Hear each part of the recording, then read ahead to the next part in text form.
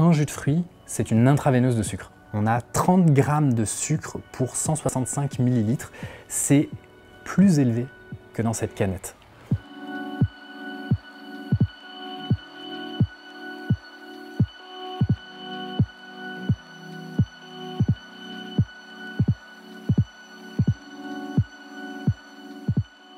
On pense que les jus de fruits sont bons pour la santé parce qu'on sait que les fruits sont bons pour la santé. Parce qu'on sait qu'on doit manger tant de fruits et légumes par jour. Donc on se dit c'est du végétal, donc c'est du végétal, c'est bon pour la santé parce que c'est ce qu'on nous a ancré dans la tête. Et, et c'est vrai, le végétal est bon pour la santé. On se dit que c'est riche en antioxydants, il y a tout un tas de bienfaits, de vitamines, de minéraux.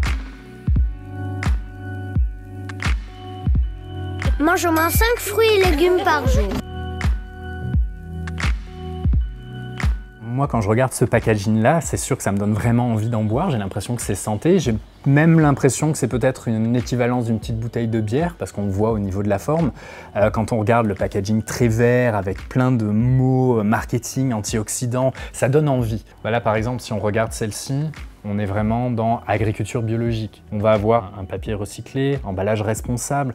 Il y a plein de mots, d'arguments. Celle-ci, on a juste à voir la bouteille en verre qu'on n'a pas ailleurs. On a du nectar. On est là sur une sémantique, sur un vocabulaire de grand cru. On est dans quelque chose. Je vais vraiment me faire du bien avec ce jus. En plus, il est, il est de couleur un petit, peu, un petit peu rouge. Là aussi, on peut se dire il y a de la betterave ou autre. Ce n'est pas dit que c'est bon. Ce n'est pas dit que c'est pas bon. Ça sort sur notre inconscient collectif du fruit et légumes.